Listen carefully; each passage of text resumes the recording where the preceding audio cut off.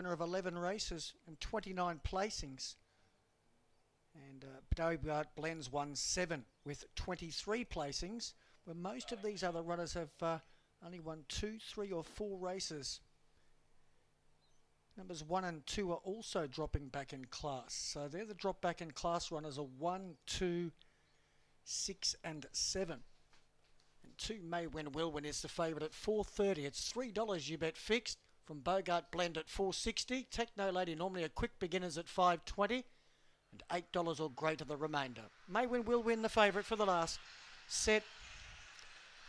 Racing, Maywin will win. Ping the lead's going straight to the lead from Techno Lady, who goes to second. Royal Albert third. She's all blonde was fourth, just behind them. Bogart Blender, then followed by Size Won't Matter. Hollywood Rose High, and last of all was Sanook. Down the back, straight in front. Royal Albert by a length. Uh, moving to second, She's all blonde. Bogart Blends trying to thread the needle through. Out wide, Maywin will win. In front, Royal Albert coming late. Bogart Blend. Royal Albert, Bogart Blend. Royal Albert from Bogart Blender. Maywin will win third, and Techno Lady got going again for fourth.